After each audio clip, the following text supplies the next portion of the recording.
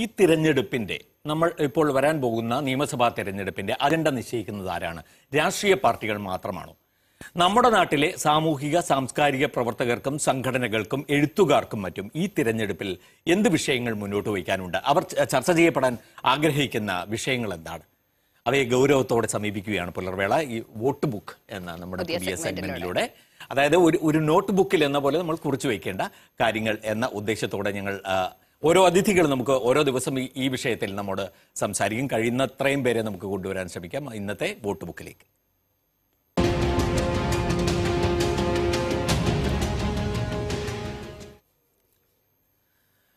നടനും എഴുത്തുകാരനുമായ സാംസ്കാരിക പ്രവർത്തകനുമായ വി കെ ശ്രീരാമനാണ് ഇന്ന് വോട്ട് ബുക്കിലെ ആദ്യത്തെ അതിഥി. സ്വാഗതം പുലർവേളയിലേക്ക് Shri V K Sreeraman. Good morning.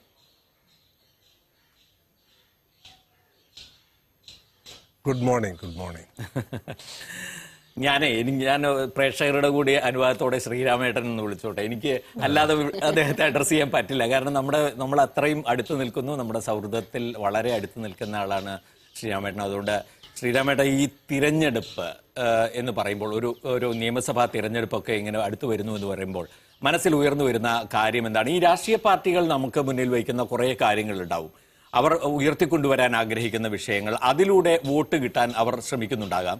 പക്ഷെ അതിനൊക്കെയുള്ള ഒരു മറുപടി അതിന് മാത്രമുള്ള ഒരു മറുപടി കൊടുക്കലാണോ നമ്മുടെ വോട്ട്?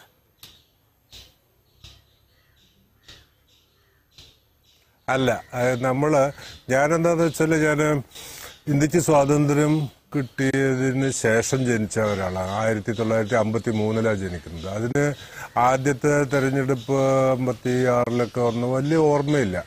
എന്തായാലും തുടർന്നുണ്ടായിട്ടുള്ള എല്ലാ തെരഞ്ഞെടുപ്പുകളുടെയും സ്വഭാവം വെച്ച് നോക്കുമ്പോൾ ഇതിന് ഏതാണ്ട് ഒരു ഒരുപോലെ തന്നെയായിട്ടാണ് വേണമെങ്കിൽ നോക്കുക. നമ്മളിങ്ങനെ പിന്നോക്കം പിന്നോക്കം നോക്കുമ്പോൾ അവകാശവാദങ്ങൾ കുറ്റപ്പെടുത്തലുകൾ അങ്ങനെയുള്ള ഒരു പ്രക്രിയയാണ് ഇതിനകത്തുണ്ടാവുന്നത്. അപ്പൊ എനിക്ക് ഇത് ഒരു വാസ്തു ഒരു നിലയ്ക്ക് നോക്കുകയാണെങ്കിൽ ഈ ഒരു തെരഞ്ഞെടുപ്പ് ആവുമ്പോൾ തന്നെ ചെറിയ തരത്തിലുള്ള ചില മടുപ്പുകൾ വരാൻ തുടങ്ങി. അത് പ്രായത്തിന്റെ ആയിരിക്കും ഒരു പക്ഷേ ഒരു മടുപ്പ് ഒരു ഒരു സ്ഥിരം പാറ്റേണിൽ ഇങ്ങനെ പോകുന്നു. കുറേ ആൾക്കാർ ഭരണപക്ഷത്തെ ചീത്ത വിളിക്കുന്നു. ഭരണപക്ഷക്കാർ അവരുടെ അവകാശവാദങ്ങൾ മുന്നോട്ട് വെച്ചുകൊണ്ട് പ്രതിപക്ഷത്തെ ചീത്ത വിളിക്കുന്നു. പിന്നെ ഇങ്ങനെ ഒരു കലഹത്തിന്റെയും അവകാശവാദങ്ങളുടെയും വെല്ലുവിളികളുടെയും ഒക്കെ ഒരു ഒരു ഒരു കാലമായിട്ട് ഈ തെരഞ്ഞെടുപ്പ് കാലം മാറുന്നു. അപ്പൊ ഇതിനൊക്കെ അപ്പുറത്ത് ഇതിന്റെ ഒക്കെ ഇതിന് താങ്ങായിട്ട് നിൽക്കുന്നത് ജനാധിപത്യം എന്ന് പറയുന്ന ഒരു സംഗതിയാണ്.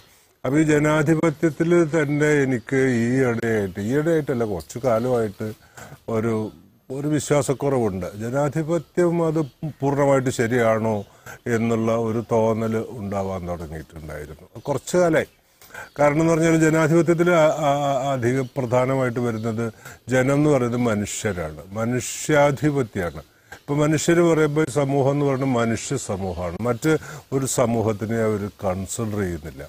അപ്പൊ അതുകൊണ്ട് ആ ജനാധിപത്യത്തിന്റെ ഒരു മനുഷ്യാധിപത്യത്തിന്റെ മനുഷ്യ കേന്ദ്രീകൃതമായിട്ടുള്ള ഒരു ചിന്തയുടെ വല്ലാത്ത റിഫ്ലക്ഷൻസ് ഈ എലക്ഷൻ കാലത്തും അല്ലെങ്കിൽ ഈ രാഷ്ട്രീയ വർത്തമാനങ്ങളിലൊക്കെ ഈ കടന്ന് വരുന്നത് കൊണ്ട്.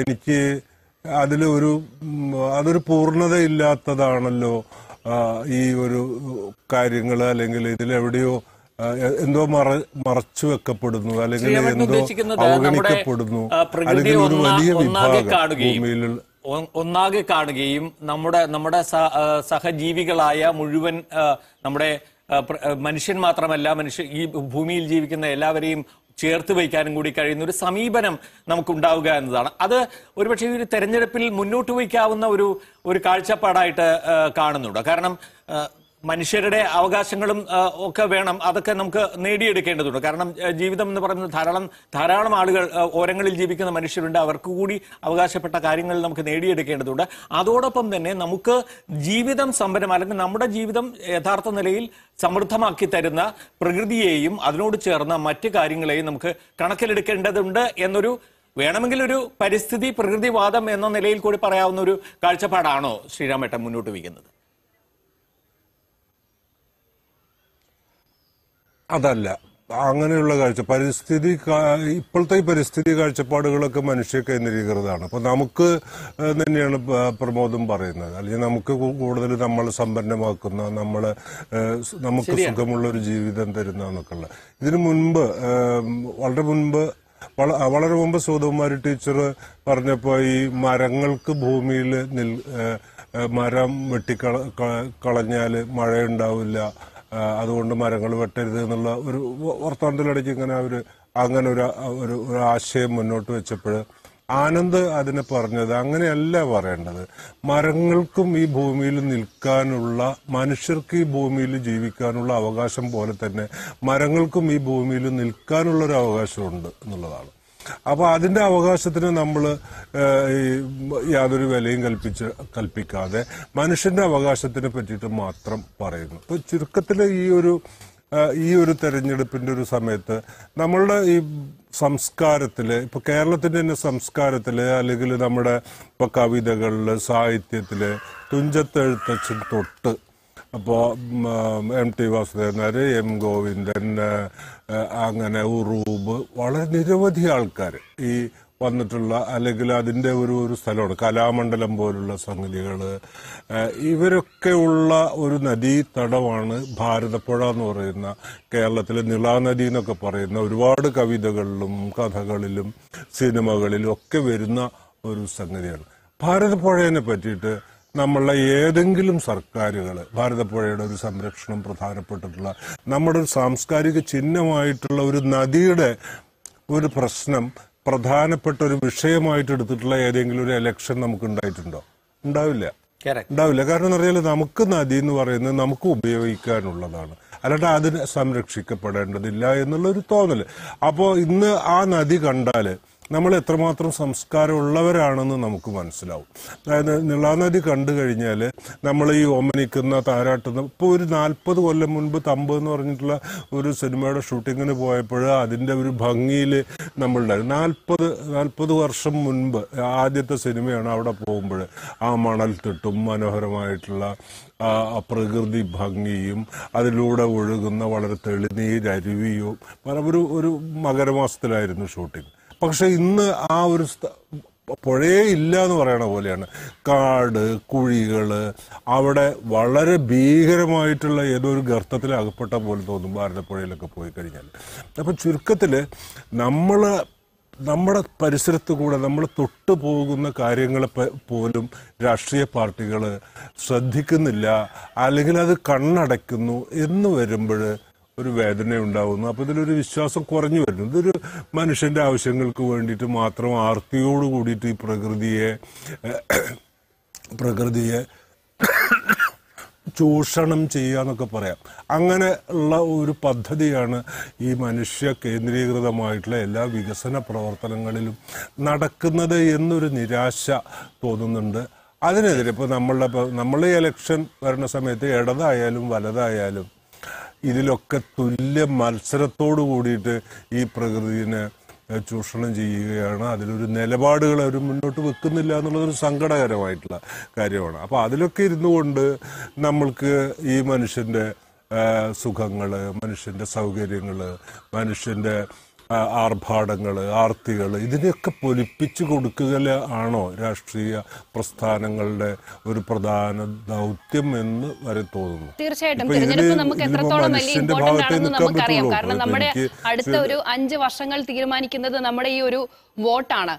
ഈ ഇലക്ഷൻ വരുമ്പോൾ ഈ രാഷ്ട്രീയ വാക്വാദങ്ങളോ ആരോപണങ്ങളോ അല്ലാതെ എന്തുകൊണ്ടായിരിക്കാം ഇങ്ങനെ അതായത് നമ്മുടെ ജീവിതത്തെ നേരിട്ട് ബാധിക്കുന്ന കാര്യങ്ങളൊന്നും പ്രചാരണ വിഷയമാകാത്തത്? പ്രത്യേകിച്ച് നമുക്കറിയാം ലോകത്തിന്റെ പല രാജ്യങ്ങളിലും ഇങ്ങനെയുള്ള കാര്യങ്ങളാണ് അവർ പ്രചാരണ വിഷയമാക്കുന്നത്.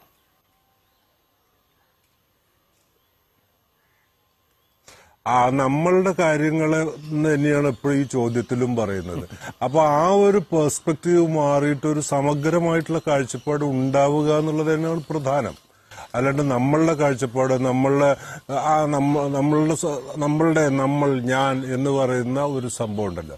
ഇപ്പൊ ഇവർ ഇവരൊക്കെ പറയും മനുഷ്യ സ്നേഹം. എന്നൊക്കെ പറയും. മനുഷ്യ സ്നേഹത്തിൽ അധിഷ്ഠിതമായിട്ടുള്ള സാഹോദര്യത്തിൽ അധിഷ്ഠിതമായിട്ടുള്ള സാമൂഹ്യ പ്രതിബദ്ധമായ അല്ലെങ്കിൽ സമൂഹത്തിന് വേണ്ടി ഈ സമൂഹം എന്ന് പറയുന്നത് മനുഷ്യരെന്ന് പറയുന്നത് മാത്രമുള്ള ഒരു ഒരു ഒരു മനുഷ്യൻ മാത്രമുള്ള ഒരു ഒരു ഒരു ജീവിതമാണ് ഒരു ലോകമാണ് എപ്പോഴും നമ്മൾ തെറ്റിദ്ധരിപ്പിക്കപ്പെട്ടു നമ്മുടെ നമ്മുടെ സർക്കാർ തീർച്ചയായിട്ടും നമ്മുടെ നമുക്ക് ജീവിതത്തിന് വേണ്ടുന്ന എല്ലാ കാര്യങ്ങളും ചെയ്യുന്നത് ഇപ്പൊ നമ്മൾ എന്ന വാക്ക് ഉപേക്ഷിക്കാം ശ്രീരാമേട്ടൻ നമ്മുടെ എന്താ പറയാ ഈ ലോകത്തിന് വേണ്ടിയുള്ള അല്ലെ ഭൂമിക്ക് വേണ്ടിയുള്ള എല്ലാ കാര്യങ്ങളും ചെയ്യുന്നത് ഇപ്പോ ശ്രീരാമേട്ടനെ മുഖ്യമന്ത്രിയാക്കി.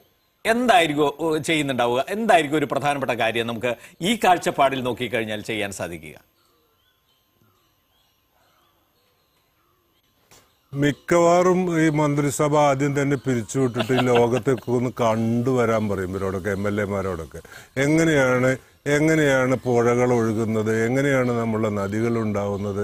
എങ്ങനെയാണ് നമ്മളുടെ കാടുകളുടെ അവസ്ഥ? എങ്ങനെയാണ് നമ്മളുടെ മലകൾ പൊടിച്ചിട്ട് ഇവിടെ കോറികൾ നടത്തുന്നത്? ഇങ്ങനെ കുറേ കാര്യങ്ങളൊക്കെ ഒന്ന് മനസ്സിലാക്കിയിട്ട് ഒരു തെരഞ്ഞെടുപ്പും കൂടി വെച്ചിട്ട് നമുക്ക് മുഖ്യമന്ത്രി ആവണോ അല്ലെങ്കിൽ നമുക്ക് ഈ ലോകം ഭരിക്കണോ? അല്ലെങ്കിൽ നാട് ഭരിക്കണോ? എന്നൊക്കെ ചിന്തിച്ചാൽ മതി. ആദ്യം ഈ പ്രകൃതിയെ നമ്മളുടെ ജീവിതത്തെ നമ്മുടെ ലോകത്തെ മനസ്സിലാക്കാൻ വേണ്ടിയിട്ട് ശ്രമിക്കാൻ വേണ്ടിയിട്ട് എന്റെ നിയമസഭാ അംഗങ്ങളോട് ഞാൻ ആവശ്യപ്പെടും. ആദ്യം തന്നെ പിരിച്ചുവിടാൻ വേണ്ടിയിട്ട് ഗവർണർക്ക് ആർക്കാണ് ശുപാർശ ചെയ്യും. ഇപ്പൊ സ്വതന്ത്രമാരെ രാഷ്ട്രീയ പാർട്ടികൾ സ്വതന്ത്രമാരെ അന്വേഷിക്കുന്ന സമയമാണ്. ഇപ്പൊ വി കെ ശ്രീരാമൻ എന്ന ഒരു സ്വതന്ത്ര സ്ഥാനാർത്ഥിയാക്കി കളയാം. എന്ന് ഏതെങ്കിലും രാഷ്ട്രീയ പാർട്ടി ആലോചിക്കുന്നുണ്ടെങ്കിൽ ആ വഴിക്ക് വരണ്ട എന്നാണോ ഈ പറഞ്ഞതിന്റെ അർത്ഥം? ഇത് ഇത് എല്ലാ എല്ലാ ഇപ്പൊ കുറച്ചു കാലമായിട്ട് ഒരു രണ്ട് നാല് തെരഞ്ഞെടുപ്പുകളായിട്ട് എല്ലാ കാലത്തും ഒരു ഇലക്ഷൻ വരുമ്പോൾ ഇവിടുത്തെ ഈ പ്രാദേശിക പത്രങ്ങളിലൊക്കെ വരും. വി കെ ശ്രീരാമന് അങ്ങനെ വരെ ഇലക്ഷന് നിൽക്കാൻ പോകുന്നുണ്ട് ഇലക്ഷൻ നിൽക്കാൻ പോകുന്നുണ്ട് എന്നൊക്കെ. അപ്പൊ ഞാൻ എന്നെ തന്നെ സ്വയം പരിശോധിക്കുമ്പോഴും എന്റെ വീട്ടിലുള്ള എന്റെ കുടുംബാംഗങ്ങളും പറയും അവരെന്റെ അടുത്ത് പറയും നിങ്ങൾക്ക് ഒരിക്കലും പറ്റിയ അച്ഛനെ ഒരിക്കലും പറ്റിയ പണിയല്ല. ഭാര്യ പറയും നിങ്ങൾക്ക് ഒരിക്കലും പറ്റിയ പണിയല്ല നിങ്ങൾക്ക് ഇടയ്ക്ക് ദേഷ്യം വരും നിങ്ങൾക്ക് പിന്നെ ഓരോ തരത്തിലുള്ള ഭ്രാന്തൊക്കെ ഉള്ള ആളാണ്. ഇതൊന്നും ശരിയാവില്ല. അപ്പൊ അതുകൊണ്ട് ഈ വീട്ടിൽ തന്നെ ഞങ്ങൾ തന്നെ സഹിച്ചോളാം. ജനങ്ങളെ ബോറടിപ്പിക്കേണ്ട കാര്യമില്ല. അപ്പൊ അത് ശരിയാണെന്ന് എനിക്കും തോന്നി. കാരണം എന്ന് പറഞ്ഞാൽ ഞാൻ വളരെ മൂടിയായിട്ടുള്ള ആളാണ്. ചിലപ്പോൾ ആൾക്കാരൊക്കെ വരുമ്പോൾ എല്ലാവരോടും ഇങ്ങനെ ചിരിച്ച ഒരു മാസ്ക് വെച്ചിട്ട് ഇപ്പൊ മാസ്ക് ഈ ചിരിക്കുന്ന മാസ്ക് പഴയ കാലത്ത് തന്നെ ഉള്ള ആൾക്കാരാണ് രാഷ്ട്രീയക്കാരെന്ന് തോന്നാറുണ്ട് എനിക്ക്. അപ്പൊ ഒരു മാസ്കും വെച്ചിട്ട് വരുന്ന ആൾക്കാരോടൊക്കെ ഇങ്ങനെ സുഖം അപ്പൊ നമുക്ക് അവരെ എന്തെങ്കിലും തരത്തിലുള്ള ഉള്ളിലുള്ള ഒരു സംഗതി പ്രകടിപ്പിക്കാൻ സഹായിക്കില്ല മിക്കവാറും ഈ രാഷ്ട്രീയക്കാരുടെ ആൾക്കാരുടെ ഒക്കെ ഈ കഴുത്ത് ഇങ്ങനെ ഭയങ്കരമായിട്ട് വീർ വീർത്തു പോകുന്നത് എനിക്ക് തോന്നാറുണ്ട്. കാരണം ഈ പറയാനുള്ളത് പല പലതും ഈ കഴുത്തിൽ വെച്ചിട്ട് കഴുത്ത് ഇങ്ങനെ വലുതായി വരുന്ന പോലെ എനിക്ക് ഇങ്ങനെ തോന്നാറുണ്ട്. അപ്പോൾ നമ്മൾക്ക് ഈ പറയാനുള്ളതൊക്കെ പറഞ്ഞൊഴിക്കണം. നമ്മളെ മനസ്സ് ഇങ്ങനെ എപ്പോഴും ഇങ്ങനെ ശുദ്ധമായിട്ടിരിക്കണം. അതിന് ഒരിക്കലും ഒരു രാഷ്ട്രീയം ശരിയാവില്ല എന്നുള്ള തോന്നിയുകൊണ്ട് നമ്മൾ അതിൽ നിന്ന് ഒഴിവാവാറാണ് തീർച്ചയായും വളരെ സന്തോഷം. എന്ന് ഇപ്പോ നല്ലോണം ബോധ്യമായിട്ട് സന്തോഷകരമായി ഒരുപാട് കാര്യം അല്ല ഒരു ഇനി എന്തെങ്കിലും ചോദിക്കാണ്ടാണോ ഇല്ല ഞങ്ങൾ നിർത്തുക. കാര്യം എന്താന്ന് വെച്ചാൽ ഒരു പുതിയ പെർസ്പെക്റ്റീവ് എന്തായാലും ശ്രീരാമേട്ടൻ മുന്നോട്ട് വെച്ചു. നമുക്ക് മനുഷ്യർക്ക് വേണ്ടി മാത്രം ആവരുത് നമ്മുടെ ജനാധിപത്യം എന്ന് പറയുമ്പോൾ അതിന് കുറെ കൂടി വിപുലമായ അർത്ഥം നമ്മൾ മുന്നിൽ കാണണം എന്നതാണ്. എത്ര കണ്ട് ഒരു ഒരു അടിയന്തരമായ ഒരു രാഷ്ട്രീയ പാർട്ടിക്കോ അല്ലെങ്കിൽ പ്രസ്ഥാനത്തിനോ ഒക്കെ അത് പരിഗണിക്കാൻ കഴിയുമെന്നത് നമുക്കറിയില്ല. പക്ഷേ നാട് എന്താണെന്ന് മനസ്സിലാക്കണം. നമ്മുടെ പുഴകൾ എങ്ങനെ ഒഴുകുന്നു നമുക്ക് എങ്ങനെ മഴ കിട്ടുന്നു എങ്ങനെ പിന്നെ നമ്മുടെ സഹജീവികൾ ജീവിക്കുന്നു തുടങ്ങിയ കാര്യങ്ങൾ മനസ്സിലാക്കി വരണം നമ്മുടെ ജനപ്രതിനിധികൾ എന്ന പോയിന്റ് വളരെ വളരെ ശരിയാണ് എന്നുകൂടി പറയുകയാണ്. വളരെ സന്തോഷം ഞങ്ങളോടൊപ്പം വോട്ട് ബുക്കിൽ ആദ്യമായി ചേർന്ന്. നമുക്ക് ഇനി അടുത്ത ദിവസങ്ങളിൽ മറ്റ് പലരെയും ഇങ്ങനെ കൊണ്ടുവരാൻ ഉദ്ദേശിക്കുന്നുണ്ട്. ചേർന്നതിന് വളരെ വളരെ സന്തോഷം. താങ്ക് സോ മച്ച് സന്തോഷം സന്തോഷം.